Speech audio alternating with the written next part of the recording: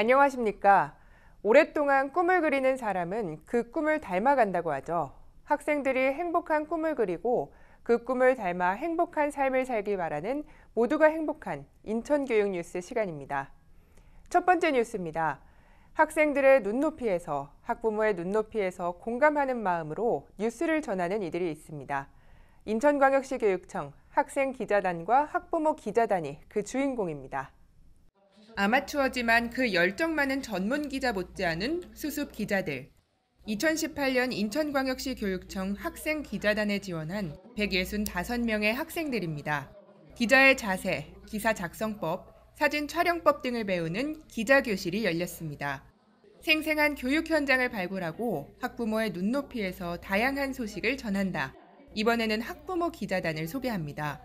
위촉식과 함께 신규 기자단을 위한 기자교실을 열고 총 90여 명의 학부모 기자단이 활동의 시작을 알렸습니다. 학생 및 학부모 기자단은 학교와 지역사회의 교육에 관한 다양한 소식을 취재하는 것은 물론 학생과 학부모, 학교와 현장의 진솔한 이야기를 통해 인천교육에 적극 소통하고 참여하며 건강한 교육 공동체로 성장해 나갈 예정입니다. 인천의 소식 그리고 더 나아가 어, 대한민국의 고등학생들이 어떠한 생활을 하고 있는지를 보다 신뢰감 있고 정확하게 전달해 드리고 싶습니다. 학교들마다의 특성화되고 다양한 학습 프로그램들을 알리고 또 좋은 점들을 공유하면 좋을 것 같아서 학부모 기자를 지원하게 되었습니다. 앞으로 학부모 기자로서 성실히 활동하겠습니다. 학생들에게는 다양한 경험과 자기개발 기회를, 학부모에게는 다양한 학교 참여 기회를 제공하고 실천하는 학생 및 학부모 기자단. 앞으로 많은 활약 기대합니다. 최근에는 학부모가 학교 교육에 참여하는 방법들이 많이 늘고 있고 보다 다양해지고 있습니다. 그래서인지 학부모 학교 참여 활동에 궁금한 점들이 많으실 텐데요. 이 궁금증을 풀어주기 위해 학부모 강사단이 직접 나섰습니다. Happy Makers, 행복을 만드는 사람. 그 중에서도 학부모 학교 참여를 통해 학부모의 행복을 전하는 인천광역시 교육청 학부모 강사단의 이름입니다. 학부모 강사단은 학부모와 직접 만나 학교 운영위원회 및 학부모회 등 학교 참여 활동에 대한 맞춤형 연수를 지원하는 것은 물론 학부모의 입장에서 궁금증을 해결하고 이해를 돕는 활동을 하고 있습니다. 학부모 강사 개별 시연 및 컨설팅으로 활동을 시작한 학부모 강사단은 오는 5월에서 6월까지 각 학교의 신청을 받아 직접 학교로 찾아가 학부모 역량 강화 연수를 실시할 예정입니다. 교육의 주체로서 당당하게 참여하는 학부모와 학부모 회의의 역할에 대해 알리고 교육 공동체로서 학교, 학부모, 지역사회의 연계 필요성에 대해 알릴 예정이라고 합니다. 하루 일과가 끝나고 밤이 되는 시간. 그 시간에도 배움과 알에 대한 열정은 사라지지 않는데요. 인천광역시 공공도서관에서는 저녁 시간을 이용한 밤의 인문학 강연을 열고 있습니다. 다양한 프로그램 만나보시죠. 많은 사람들이 하루 일과를 마칠 저녁 7시. 그러나 그 시간에 또 다른 배움에 대한 열정을 가진 시민들이 부평 도서관에 모였습니다. 올빼미 인문학 강좌, 저녁 시간을 활용해 시민들이 관심을 갖는 비트코인과 블록체인, 서양 철학사, 음식 과학 이야기 등 다양한 분야의 인문학 강연이 펼쳐지고 있습니다. 북구도서관에서는 인공지능을 주제로, 중앙도서관에서는 클래식 음악 산책을, 주안도서관에서는 재테크에 관해서 화도진 도서관과 연수도서관 역시 역사와 문화를 주제로 한 인문학 강연이 준비되어 있습니다.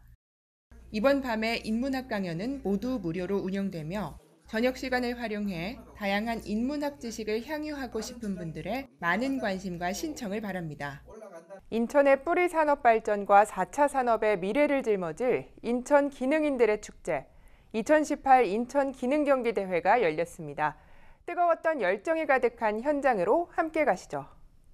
복잡한 첨단 기계를 능숙하게 다루는 솜씨들, 빈틈없이 정교한 기술력, 미래 산업을 이끌어갈 인재들이 총출동한 2018년 인천 기능경기대회가 6일간 열렸습니다. 인천 지역 특성화고 19개 학교, 학생 300여 명을 비롯해 군인 일반인까지 총 373명의 선수들이 참가해 금형, 기계설계, 메카트로닉스, 판금 등 39개 직종에서 다양한 기술들로 뜨거운 열정을 보여줬습니다. 선배님들처럼 열심히 해서 국제기능 올림픽 대회 출전하여 메달을 따고 훌륭한 기술인이 되고 싶습니다. 그동안 휴일에도 나오셔서 저희를 지도해 주신 선생님께 감사합니다. 특히 인천 지역 특성화고 학생들이 아직은 아마추어임에도 불구하고 학교에서 배운 수준 높은 기술들을 유감 없이 발휘해 참가자들과 관람객들의 눈길을 끌었습니다. 이번에 열린 인천 기능 경기 대회 입상자에게는 올해 9월 전라남도에서 개최하는 제53회 전국 기능 경기 대회에 참가할 자격이 부여됐습니다. 학생들이 스스로 생각하고 기획해 미래를 만드는 미래메이커 교육. 이를 실현하기 위해 솔선수범하는 교사를 위한 연수가 열렸습니다. 교사가 먼저 준비하는 미래 메이커 교육 만나보시죠. 시대의 흐름이 바뀌고 교사의 역할이 더욱 다양해지면서 배움에 열정을 놓지 않는 교사들이 있습니다. 학생들의 미래를 함께 만들어가는 교사, 미래 메이커 교육을 위한 교사 연수가 열렸습니다. 관내 중고교 교사, 교감, 교장 등 100여 명을 대상으로 한 이번 연수는 생각 코딩, 창의적 발상, 마음 근력, change maker, 또 창의적 생산, 소통과 공감을 주제로 각 분야 전문 강사들을 초빙해 교사들의 활동 중심으로 진행됐습니다. 학생들과 호흡할 수 있는 그리고 재미와 의미를 모두 다 어, 교과 내에서 녹여낼 수 있는 그런 방법들을 배웠다고 생각합니다.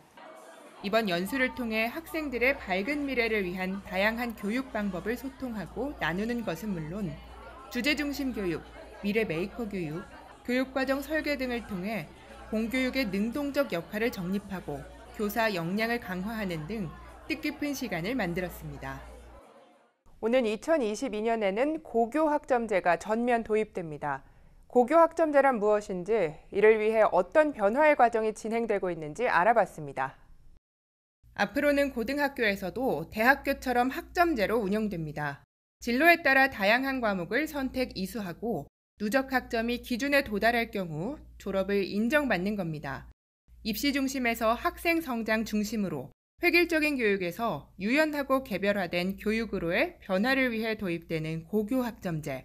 고등학교 교육의 패러다임이 전환되는 만큼 철저한 준비가 필요합니다. 이를 위해 인천광역시 교육청에서는 학생들이 원하는 다양하고 질 높은 과목을 개설하는 데 중점을 두고 고교 학점제 도입에 필요한 다양한 제반 사항을 마련해 나갈 계획입니다. 또한 고교 학점제 연구학교와 선도학교를 운영하고 전문가 워크숍을 실시하는 등 중장기적 준비를 거쳐 단계적으로 변화해 나갈 예정입니다. 고교 학점제가 시작되기 직전까지 우리는 충분하게 그러한 그 준비를 하기 위해서 고교 학점제 지원 추진단을 구성하고 또 실무단을 만들어서 어, 학교 현장에 어, 지원할 수 있는 행정을 준비를 하겠습니다. 앞으로 고교 학점제 연구 및 선도 학교에서는 학생 수강 신청제 도입, 학생 맞춤형 학습 관리 지원 등을 통해 과목 선택권의 확대로 학생들의 진로 파악 및 이력 관리 역량을 길러나갈 예정이라고 합니다. 모든 변화의 결과는 교육에서 시작된다. 이런 말이 있습니다. 그 변화가 좋은 결과를 가져오기 위해서는 교육이 가장 중요하다는 말이겠죠.